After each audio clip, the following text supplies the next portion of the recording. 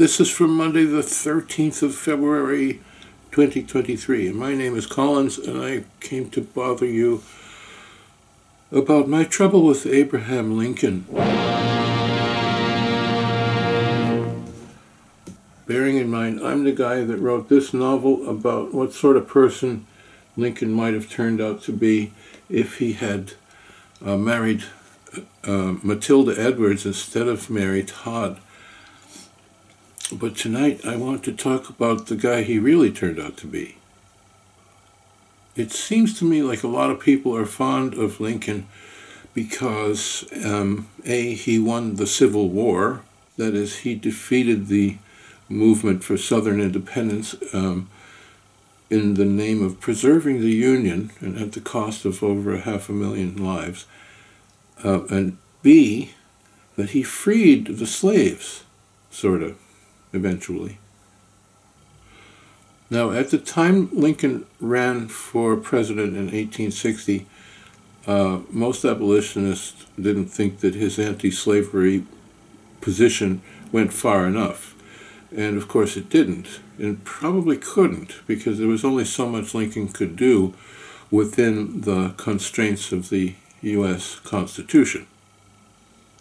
Make no mistake, Lincoln was opposed to slavery. Lincoln was also opposed to having black people and white people uh, live side by side in the same country. He wanted black people to move out. He wanted them to leave. He thought they should have the vote and civil rights as long as they had them elsewhere. At the time, a lot of white Americans liked that idea, too. They called it colonization. What would you call it? Ever since his um, early days in the Illinois uh, legislature, Lincoln had always been an adept at horse trading and arm twisting and scheming and manipulating. I mean, he was a very good lawyer, too, or shrewd at least. After he stumbled into the presidency in 1860, he did, he, he did everything he could think of to try to reconcile with the southern states, with the slaveholding states, and uh, keep the states united, including some sneaky manipulation, some public disingenuousness, and some serious waffling about what to do about slavery.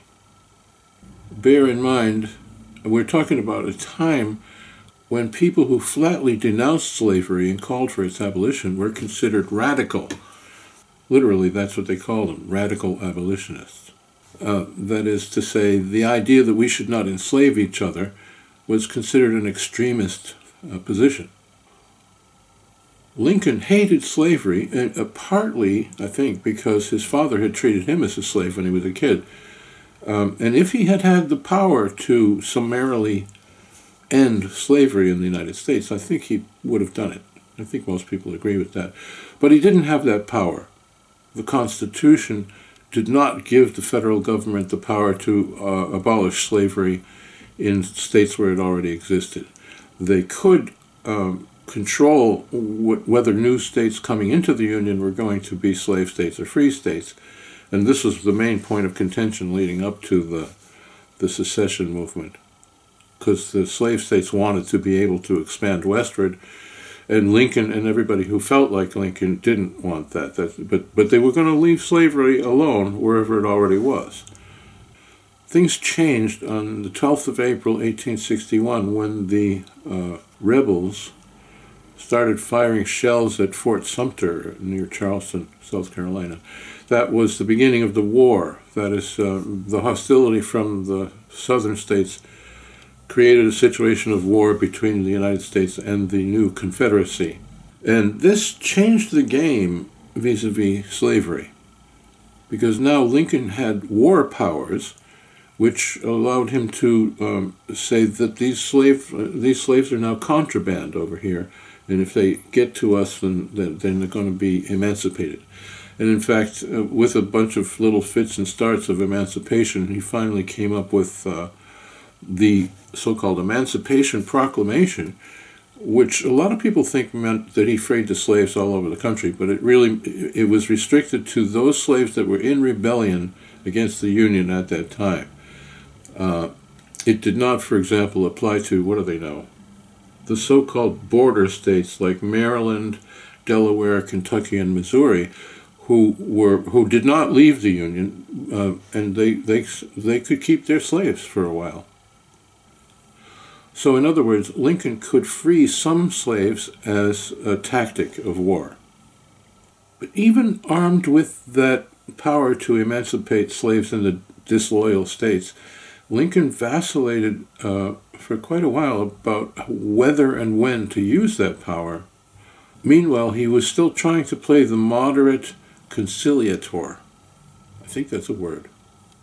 On 22 August 1862, he made his position, his ostensible position, clear in a letter to Horace Greeley when he said, My paramount object in this struggle is to save the Union and is not either to save or destroy slavery. Then, uh, a month later, on 22 September 1862, Lincoln announced his Emancipation Proclamation that would take place a few months later at the, at the beginning of 1863. This gave him time to play the conciliation game.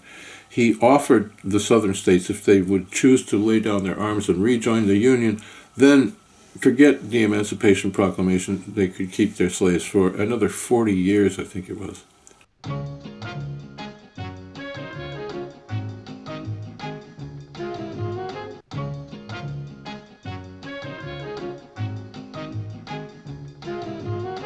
Now, at this point, the abolitionists who had been watching his progress uh, kind of threw their hands up in despair and said, What the fuck is this guy doing? You know, he's like flip flopping they were, they were, they, they felt like they couldn't trust his words or his motives. And I have the same problem. To me, the trouble with Lincoln is that he was moderate enough that he could be president in that time. He was a guy who did what he could, and he could do what he did. He militated to uh, achieve the things that he hoped for without ever really taking a public, a strong public moral stance until the summer of 1864, when Lincoln, uh, running for his second term in presidency, started pushing Congress to adopt uh, an amendment outlawing slavery forever in America, uh, the 13th Amendment, as they call it. It was no easy battle to get that amendment passed because uh, a lot of people didn't want it. Uh, but they schemed and manipulated and finally got that passed on the uh, 31st of January 1865, very shortly before the war actually finished up, and just a couple of months before Lincoln was killed. Lincoln did what was possible, which a lot of people thought was impossible, and for this, people think he is great. It's not good enough for me. Sorry. I'm with the historian Barbara Fields, uh, who said in the 1980s, let me read this. I lose patience with the argument that because of someone's time, that his limitations are therefore excusable. It is not true that it was impossible in that time and place to look any higher. I agree with her. In my opinion, my opinion, what America really needed at that time was a, a loud, strong voice that said, fuck slavery, and not one preaching forgiveness for those who practiced it. That's what America needed. And it's the same thing that America already needed in uh, 1787 when Benjamin Franklin called for the end of slavery. That was like 72 years before the war started. It wasn't like the, this idea wasn't floating around. It wasn't like there were, there were not uh, passionate, conscientious voices calling for the end of slavery long before Lincoln, the great conciliator, came into power. And, and uh, now, I should say, pacifist me, if Lincoln had started a war to end slavery, which a lot of people think is what he did, if he had done that, then I would have uh, probably been all for it. I, I would, I would, I mean, I don't like war, but I would say, okay, that's a good, as good a reason as any for a war to go and liberate these people. And that's not what he did. It's what a lot of people think he did, but it's not what he did. Preserving and restoring the, the Union was Lincoln's top priority. Uh, and people hardly ever questioned the rightness of that. I question the rightness of that. Hmm. The fatal flaw of the Union was that it was formed with the constitutional protection of slavery instead of its absolute prohibition. In this respect, we can call into question whether the United States ever had the right to exist in that form. It, I think it was a uh, corrupt thing from the beginning. And I guess I'm not alone in that. I mean, for every failing that I that I mentioned about Abraham Lincoln, you can always put up the excuse that well, this is he couldn't really do what he wanted to do. There was what he wanted to do and what he could do within the constraints that he was under, and you can you know you can excuse the way things turned out on on that score, and a lot of people do, but I'm not that sort of person, so I have a problem with the guy. So I thought I should tell you about that because that's what I've been thinking about this week.